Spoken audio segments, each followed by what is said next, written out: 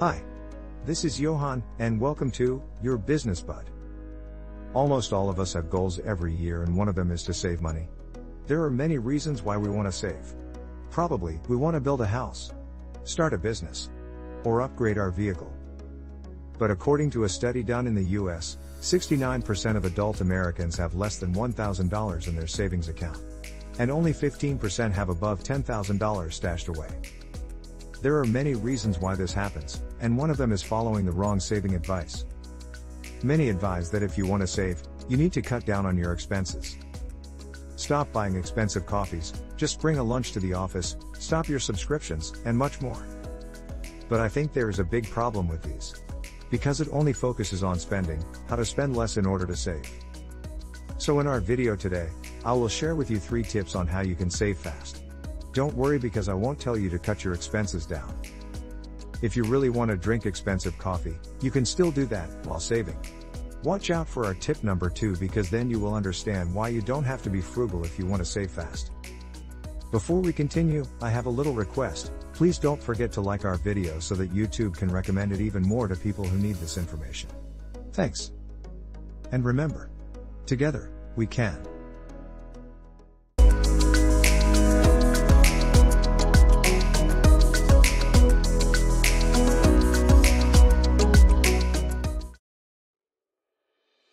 Tip number 1. You must know the purpose why you're saving. If there is a solid foundation of the goals we want to achieve, it is having a purpose or reason. Don't ask yourself how to save. Instead, ask why you need to save. If you want to have $100,000, why do you need to have this amount? If you wanted to save $12,000 in a year, what would you use it for? Many people fail at reaching their goals. Because they just know what their target is, but they don't have a solid reason why they want to reach it. If you want to be able to save fast, you need to have a purpose for why you are saving. For example, you want to be able to save $10,000 for your emergency account, $10,000 for your child's education fund, and $20,000 for the capital of the business you want to start. You can also divide it into short-term and long-term goals. The short-term goal is one that you want to achieve in 1 to 3 years. The long-term goal is the goals you'd like to have in 3 years or more. It is better to write it down on a piece of paper so that you can easily see it and always remind you every day. If you haven't yet figured out a possible reason why you need to save, this is the right time to sit down and ask yourself what part of your life you want to improve. Or maybe you just have a simple dream that you want to come true. Maybe, you want to take a vacation abroad with your family. Build your dream home. And have a long-term investment.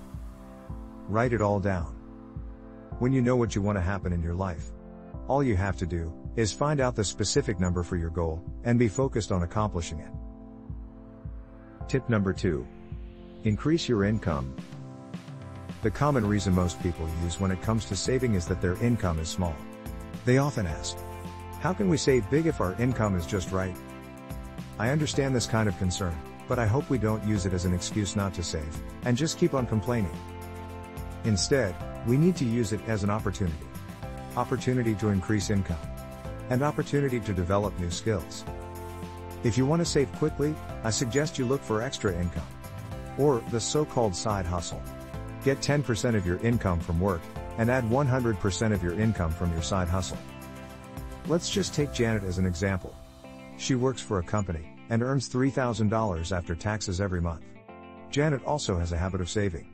She only spends $2,700, and she always saves the remaining 10% or $300. But she has a goal to save $10,000, because she plans to build a small business. She thought that if her savings were only $300 a month, it would take her another three years before she could reach her goal. So she looked for other ways on how to minimize her saving time frame and how she could maximize her income. She tried to do a side hustle, and she earned extra money from it. She still works full time, and she enjoys her side hustle because she only spends a little time working on it, and it teaches her new skills. She earns an average of $700 in her side hustle every month. She did not change her lifestyle. She still managed to cover $2,700 in expenses and save the remaining $300, plus $700 from her side hustle. She used to save only $300 a month, and it will take her another three years before she achieves her goal. Now she set aside $1,000 every month. And it only took her 10 months to reach her $10,000 goal. From our example, we can learn the importance of increasing our income so that we can save quickly.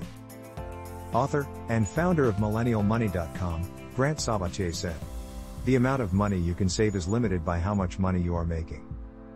It is impossible to save $10,000 a month if you only earn $3,000. Always remember that, you have no problem spending, all you need to do is be disciplined in handling your money, and be focused on increasing your income.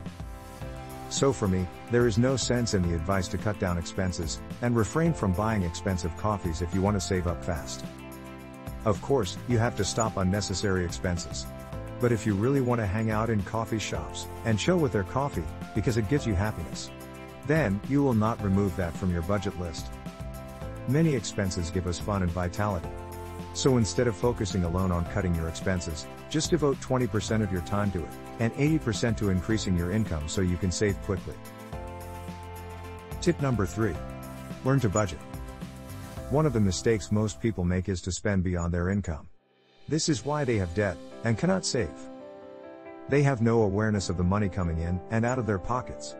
And, they give in to their emotions and continue to overspend. To avoid this mistake, and to save quickly, you need to learn to budget. If you know how to budget, you have control over your finances. All you have to do is be consistent in tracking your income, expenses, and savings. Compare your monthly income and monthly expenses, and then focus on increasing your income. That way, you can easily achieve your savings goal, because you will only make few adjustments to your expenses as you maximize your income. The purpose of making a budget is for you to have awareness and discipline in your finances. You must know how much your total income is, and where a large percentage of it often goes. Because if it often goes to things you don't really need, you can easily stop it and transfer it to your savings account. In conclusion, the key to successful and faster saving comes from having a purpose. Why you need to save. And you also need to be focused on increasing your income instead of cutting your expenses, because reducing your expenses has a limit while increasing your income, is unlimited. And, to protect your income, you need to learn to budget. Of the three tips we discussed today, what good lesson have you learned and plan to apply from now on? Please leave a comment below. I hope you learned something from our video today. Don't forget to subscribe, so you are always updated with our new financial education videos. Like, comment, and share this video with your friends. Thank you so much for watching, and may all your dreams come true. I'll see you in the next video. Bye for now.